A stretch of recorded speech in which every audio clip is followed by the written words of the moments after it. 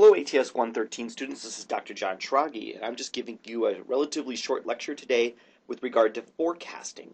Uh, you would have possibly thought that all semester long we were talking about forecasting, but actually we don't get to it really to the end of the semester where we start talking about actually all semester long the kinds of things we were learning are the parts of how a meteorologist makes forecasts. Uh, the job of a meteorologist is a complicated job that involves both taking the knowledge that he learns in classes and, as we're going to learn in a little bit, uh, information that he gets from computer programs called models. But let's first talk about how people make forecasts in contrast to how computers models make forecasts. Um, if we're talking about forecasts made by people, one source of information, of course, would just be folklore. And this is uh, the kinds of stuff that we talk about, like Groundhog Day, or how fuzzy the caterpillars are, um, there are urban legends and uh, tradi- ethnic traditions about all kinds of different things. Uh, my grandmother uh, swears by filling walnut shells with water, she can tell what the weather's going to be like. I don't really understand the method myself. Ye Old Farmer's Almanac. Um, all of these things are crap. None of these things have any real uh, connection, of course, to meteorology. Uh, caterpillars don't have any idea what the weather is going to be. Groundhogs, whistle pigs, none of those things know anything about what the weather is going to be. Um, on the other hand, when people are making forecasts, there are techniques they can use that don't involve the complicated computer models we'll be talking about in the second half of the lecture. One technique would simply be something called persistence. A persistence forecast assumes that the current weather is just going to continue. If the last couple of days have been above normal temperatures, a persistence forecast just says a good guess is that it'll continue to be above normal. If it has been a dry spell, if you're under dry conditions, a good guess is that it'll continue to be dry. Persistence is a surprisingly uh, legitimate way to make forecasts, uh, although you, most of the time you think of this as sort of the uh, the null hypothesis, the, what you're trying to beat. I mean, you want to do better than persistence when you make your forecast. For that matter, another kind of mindless way of making a forecast would be what we call climatology. In forecasting, when, we, when a person makes a climatology forecast, what they're assuming is that the weather in the near future will be a lot like the mean weather of the last 30 years. Um, if the if you're trying to make a forecast of what the weather's going to do next week when it's uh, let's just say April 17th, well, one way to make a forecast of what the weather's going to be like on April 17th is to just look back and see what the mean temperatures were on the April 17th of the last 30 years. Um, this is a, not a terrible way to make a forecast because odds are it's only going to be so different from the mean temperature over the last 30 years. Uh, if you're making a forecast for um, the middle of, you know, it's it's some day in July, and you're making a forecast for tomorrow, and it's a day in July. Um, even if you see some cold front coming, predicting snow and sub-freezing temperatures is, is not a good idea because climatology tells you, you know, that maybe your average high temperature on that day is 85 degrees. It won't be all that different from climatology. Again, though, we don't usually make a climatology forecast like that so much as we work on the assumption we're going to be able to do better than that. If you can't beat the climatology forecast, mm, you're not much of a forecaster. Another type of forecast that people can make is what we call an analog forecast. Now, this is an analog as in like the opposite of digital. This is analog in the sense of analogy. When we are making an analog forecast, what you do is you find situations in the past that looked a lot like the current weather does. And then you assume that the weather in the future will look like the weather was after these analogous times. So, for example, uh, let's say today there's a big trough in the central United States and a big jet stream moving across the southeast United States, and I don't know, whatever. Uh, high pressure system centered over New England or whatever. You look through past times when there was a very similar uh, analogous weather pattern, and you see, well, what happened then? Maybe the high pressure system uh, moved off the coast and the trough disappeared and the flow became more zonal. Well, not a bad forecast is that the same thing will happen again. Um, we don't actually explicitly do analog forecasting day to day, um, although it is sort of implicitly part of what we're doing because, of course, it's human nature. We use our past experiences to inform us about what the future is going to be like. So, I mean, the meteorologist sitting in his office thinks about times he's seen a similar weather pattern and what played out.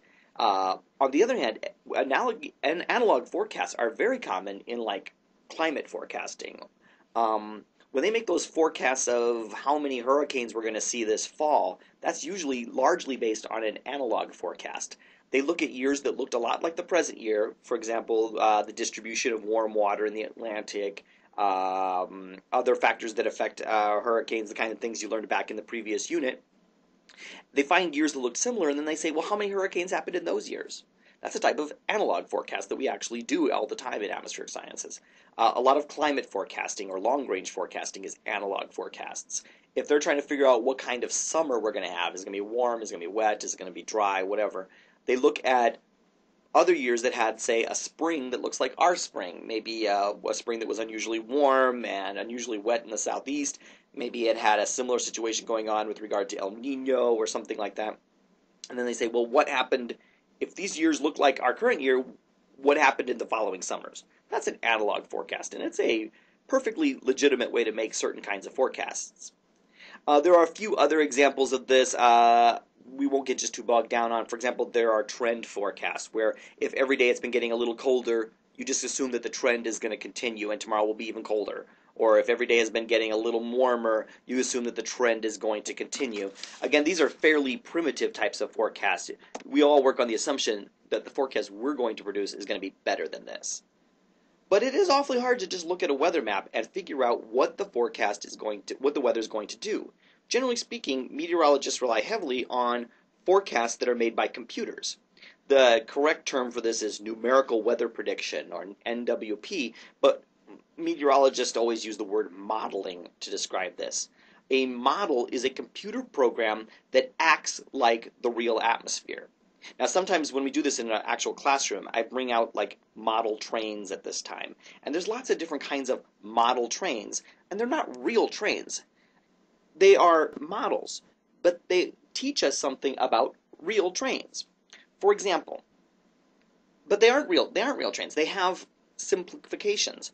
For example, if I bring out some little model train that is used um, in an engineering lab to test as a simulation to see if like trains can make this curve on a track, well, the train isn't a real train. I mean, not only is it smaller, but it probably doesn't have a real engine. It's probably just running on electricity or batteries or something. It probably doesn't have a real gears and stuff like that that work. It doesn't have real windows or anything like that. But that doesn't mean we can't learn about real trains by using this model train. Now, there are lots of different models out there. Uh, when we come to trains, for example, my, my two year old son loves Thomas the Tank Engine. Well, Thomas the Tank Engine is a pretty primitive model of a train but you can still learn a lot about trains. Thomas the Tank Engine is made of wood. Thomas doesn't have any windows. Thomas's wheels are made of plastic. Thomas only has four wheels. Um, he doesn't. He's not all that much like a train. On the other hand, in some ways, he is like a train. He runs on tracks. He has hooks that, um, actually magnets that hook him up to other trains uh, or to other cars. There's lots you can learn about trains by playing with Thomas, even though Thomas isn't very much like a real train at all. So there are simple models like Thomas the Train, and there are very complicated models like maybe the ones an engineer would use to study uh, you know, to simulate whether or not a train can make that curve, or uh, the few, you know, the wind drag a train is going to experience on a new design, or something like that. Well, in the same way, we have computer programs that we call models, and these models can simulate the, the real behavior not of a train, but the real behavior of the atmosphere. They know the real physics of how the atmosphere works, and they reproduce that to simulate the way the behavior of the real atmosphere works. That's an important aspect of how this all plays out. Another way of thinking about these kind of computer models is to think about, say, a racing game on your video game console. The racing game includes a computer model of a car. You probably even get to pick the car or design the car as part of the game. But the, the simulation, the model, knows the real physics that control how the car works. The game wouldn't be any fun if there weren't realistic physics controlling that model. If your model of a car in the game could turn on a dime, drive 10,000 miles per hour, uh, and had a front mounted bazooka that had infinite amounts of ammunition, the game wouldn't be any fun. It's only because the game has a realistic idea of how real cars work like in terms of how sharp they can turn, how fast they can go, how often they have to stop for fuel, how often you have to stop to reload the front mounted bazooka, um, that the game has any fun at all. Um, it's in many ways silly. I mean, it's kind of amazing that people tolerate that in video games that they have to stop and get gas for the car. I mean, there's no gas and there's no car.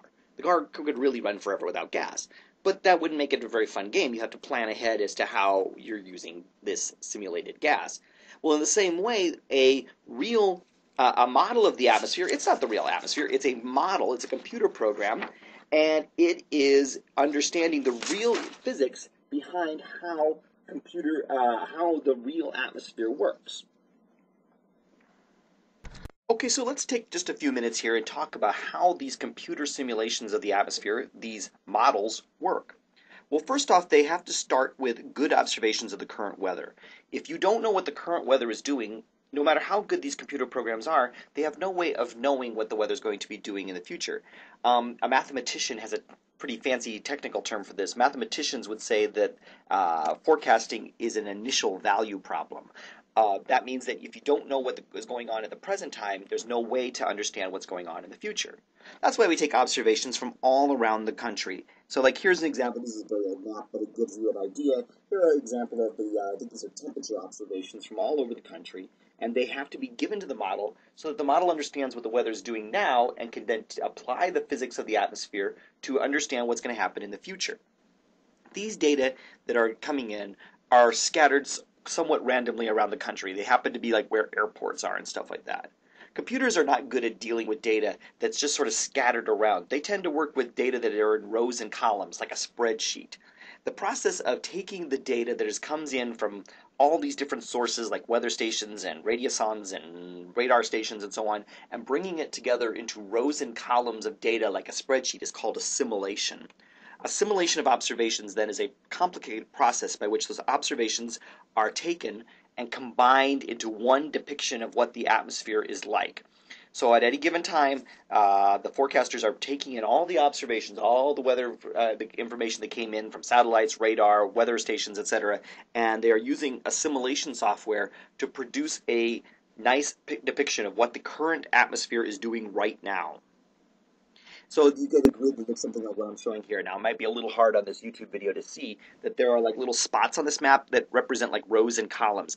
Then the data are just nicely and evenly distributed. We have like used things like interpolation and so on to change observations that were not really on rows and columns to kind of a nice uniform grid like this. Now we have at every one of these little points on here, we have um, Uh, the temperature, the pressure, the wind speed, the humidity, all that kind of good stuff. And from that, we can figure out what the weather is going to do in the future by applying what are known as the seven primitive equations. I'm going to tell you a little secret. In the teacher's edition of your textbook, in the beginning, it talks about the methodology that they use in this course. And behind the scenes, what's really been going on all semester long is what you've really been learning is the seven primitive equations. They don't teach most of them in the form of an equation because some of the seven primitive equations are terribly complicated. But the in words, what each of these seven equations do is really what's been happening all semester long. That's why we put off forecasting it to the end of the semester because forecasting is in many ways uh, almost a review. Um, so these are going to be a set of equations, the so-called primitive equations, that are going to be describing uh, what the how the physics of the atmosphere work you are going to apply these seven primitive equations to each of those grid points to find out what the future holds for each of those points. They are prognostic equations. They tell you how the wind is going to change or how the temperature is going to change. We actually saw all these seven primitive equations, just not necessarily in equation format. For example, three of the seven equations are about forces. Uh, they are about how forces like gravity, pressure gradient force, Coriolis force, centrifugal force, etc., are contributing to the winds at each point. Now, we learned about that kind of in words and drawing vectors and so on in this class, but we could have done it using equations. It just would have been awful and everybody would have dropped. But three of the seven primitive equations are about forces. Another primitive equation is the ideal gas law. In fact, this is the only one, I believe, where we learned about the uh, seven, uh, only one of the seven primitive equations that we learned about actually in equation form. P equals rho RT. It's a very basic equation that relates how temperature, pressure, and density are related in the atmosphere. Another one of the seven primitive equations is called the first law of thermodynamics. Um, this is a very complicated uh, equation that combines all the stuff that we learned in the first unit of the course about heat. It's predicting how the temperature is going to change in terms of things like radiation, conduction, convection, etc. Again, we don't learn the equation in this class because everybody would drop. I mean, the equation takes a piece of paper to write down. Uh, it's huge. but we uh, learned the processes behind it in this class. Another one of the seven primitive equations equations that govern how a model works is going to be so, the so-called continuity equation. Now, we didn't uh, use this word continuity yet in this course, but continuity is all about how rising and sinking motion is associated with convergence and divergence. I mean, goodness, how many times this semester have we you talked about convergence and divergence and talked about how that is related to patterns of rising and sinking motion? Well, it turns out these, these vague ideas that we talked about throughout the course and developed a picture in our mind of how they work, there's actually an equation that does it. It's a different, it's a partial differential equation. It's a giant mess to work with, but it can be done. Again, computers have no trouble solving such things. It's just hard to teach about them. Uh, another one of the seven primitive equations is about conservation of water. Uh, this is all the kinds of stuff that we did in the second unit in the co- of the course about things like condensation, evaporation, the growth of raindrops, etc. There's actually equations, uh, an equation that can summarize all of that stuff. Um, there are actually other ways to break up the seven primitive equations. In some textbooks, they'll talk about one of the equations being about vorticity, but then they only have two equations about forces. There's lots of different ways that this can be partitioned, uh, depending on your. But it always takes seven equations. There's uh, a good theoretical foundation as to why that has to be. So your computer model takes these seven primitive equations and applies them. They're prognostic equations. They forecast what the temper, the what the temperature, the pressure, the winds, the humidity, etc., are going to do at some point in the future. Shockingly, it's not very far in the future. It'll be about, oh, I said on here one second. I think more most models are more like five seconds, something like that. It's not very far into the future how far they forecast. So that you might think, well, what's the point of a forecast for like five seconds in the future? Well, this becomes part of a loop. What you're going to do then is if we think about what the methodology is going to be for a computer forecast made by a model, we're going to take the current observations and assimilate them into this grid that the model understands with rows and columns of data. And at each of those points, we're going to make we're going to apply the seven equations, and it's going to get you a forecast, but it's not for very far into the future. It's maybe a second or five seconds in the future. That's called a time step. There's one you, you've now made a forecast one time step into the future. Well, it's not very far, but now you have at every grid point in the model, you have a new temperature, a new pressure, a new wind, a new humidity, etc., and you apply the seven primitive equations again, and now you have a forecast of what the model is going, what thinks the weather is going to be like two seconds from now, or two, more accurately, two time steps from now. I mean, if your time step is 10 seconds, then you're 20 seconds into the future. So you just keep repeating this process. You go, it's a loop through these uh, th- steps three and four that we see here. It might take thousands of times of repeating those the application of those seven primitive equations to every grid point in the model. But with time, you can get a forecast for 12 hours, 24 hours, 36 hours, 120 hours, whatever, out into the future. Wow, that's a lot of math. Good thing computers are fast. Um, but uh, there are certain things we can do to make this process work better. Um, or run faster, or give us the information we need and don't waste time on things we don't need. For example, one of the trade-offs that we can do that would make the forecasts, uh, the programs run faster, is to talk about the differences between the resolution of the forecast and the domain of the forecast. Um, when we are making these forecasts, we can decide what part of the world are we making forecasts for. For example, let's say we were making forecasts for the United States here, and I wanted to make a, a, fairly detailed forecast of the United States. Again, I'm not sure on YouTube how well this is showing up. You might have to get the PowerPoint of this from the blue from blue line to see what's going on here. But if every little spot on this map right here has a uh, dot, it, it, shows where we're making forecasts at each of those grid points there. Looks like we're going to have pretty detailed information for all of those regions. But if I back this map up a little bit and show you on a larger scale, each of these little white spots here shows us where that model was making a forecast. Well, I have a fairly well, I have a fairly high resolution forecast over North America. Out over the rest of the world, there's no grid points at all. The domain of my model is just over North America in this case, not the whole world.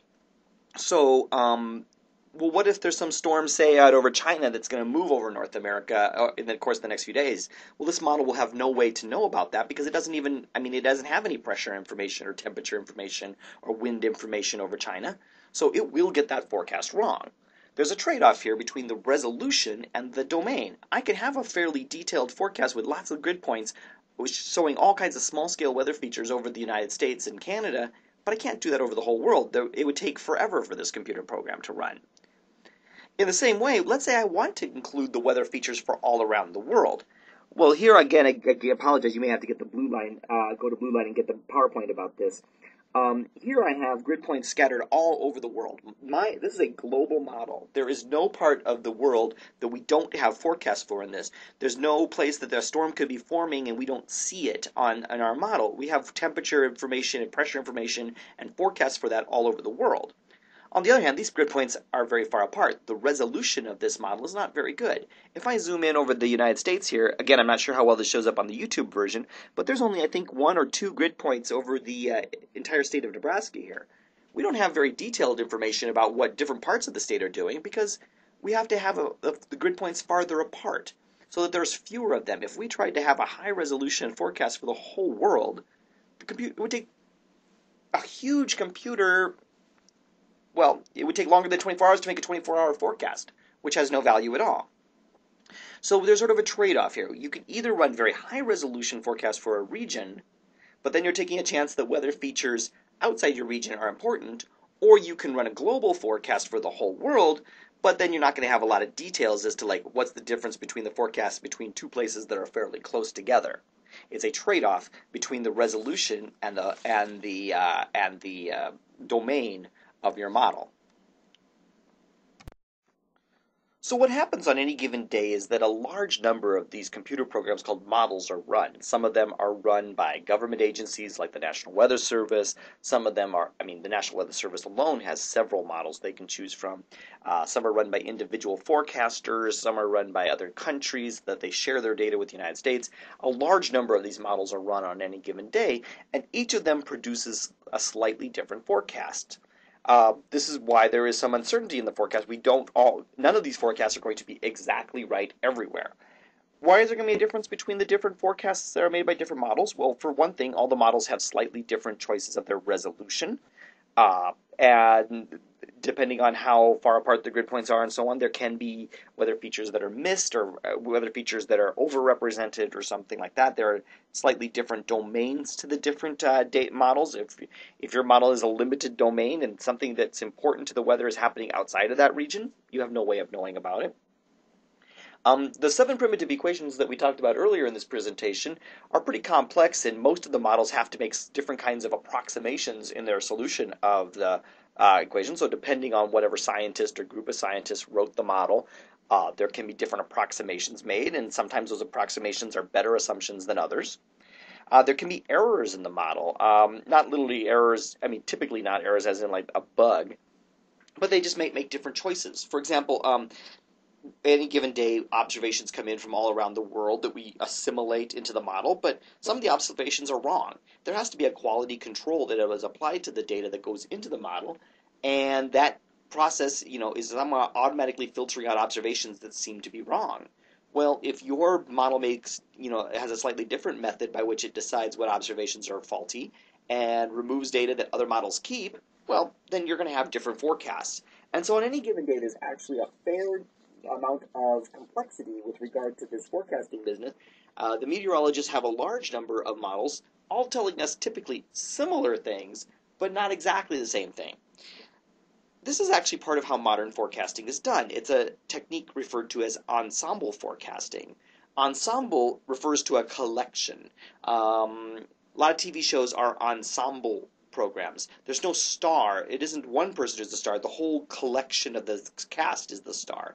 In the same way, ensemble forecasting is when you make use of many models to reach what we call a consensus forecast. We're not actually trying to figure out what each individual model is saying. We're trying to figure out as a group what are they saying. Um, a typical forecaster might have uh, maybe a dozen models to work with, and we have to figure out based on all of these different models well, what's the range of the solutions? What, what, what is the coldest model saying? What is the warmest model saying? What is the windiest model saying? What on any given day is the difference so that we can kind of get, start getting a sense, gee, I don't know, let's say I have a dozen models to work with and eight of them are saying this is going to happen and the other four are saying something almost the same but a little bit different is happening. We kind of build a consensus here. Um, there's lots of different ways that we can kind of visualize uh, how a how a, uh, um, a con- ensemble modeling works. But actually, what's kind of cool is what we call spaghetti diagrams, and I'll just show you an example of them here. Um, here's a, uh, a map that has two contour lines drawn on it. Um, these are uh, two contour lines at 500 millibars of height. It's related to pressure at the surface, but it's not exactly the same. And it's a little hard to see on there, but about the, the, that same contour line is actually drawn on there in about, oh, I don't know, maybe 12 different colors, um, where like 12 different models are showing where they think that contour line is. Now they're all pretty damn similar. I mean, if you take if you look at the blue, uh, go on Blue Line and get the PowerPoint, you'll see oh, there's a slight difference from one model to another. Um, on the other hand, this is a very short range forecast. I think that I think if I remember right from when I uh, uh, downloaded this, this is like a three-hour forecast or something like that. All the models have very similar ideas about where each of those contours are going to be. So we have pretty good confidence that this is what the pressure pattern is going to look like in three hours. Now, in this particular case, I then advanced it, took the model output for uh, a later period of time. This is, let's see, this is a, uh, looks like it's an eight day forecast. So, eight days in the future from when that forecast was run, this is where those 12 different models or 20 different models or whatever it is, where each of them thinks that contour line is going to be. Now you can see that the 12 different, you can see why we call these things spaghetti diagrams, right? Because it's a big tangled mess here in the sense that all of these different models have slightly different, in some ways very different, ideas as to where those two contour lines are going to be eight days into the future. Now, despite the fact that all the models have some differences, well, there's actually some ways in which they're all very similar. Notice how all the models have, for example, something like a, like a trough in the eastern half of the United States, and all of them have something like a ridge in the western half of the United States. Yes, exactly where the contour line is is different from one model to the next. But actually, there's pretty good consensus that there is going to be a trough in the eastern half of the United States and a ridge in the western half of the United States. And considering we're talking eight days in the future, that's pretty good. Sometimes the models do not agree as well as this, sometimes they agree more. Uh, sometimes maybe almost all the models are agreeing on something, and then one or two of the models are saying something very different. Well, then the meteorologist needs to go back and look and say, hey, why is there a difference here? Why are some of the models saying something slightly different? And they need to keep in mind because it could be that those models were doing something right. Maybe they were assimilating certain observations that the other models were throwing out. Maybe they made assumptions about the resolution or whatever that turned out to be uh, better than the other models. I mean, we have to keep in mind that no one model is the right answer. It's that they have to come up with a consensus. What overall are the models telling us of what the forecast is? And that's pretty much what a modern meteorologist has to do. There's no shortage of these computer forecasts, and the computer forecasts are in general better than what a human can come up with.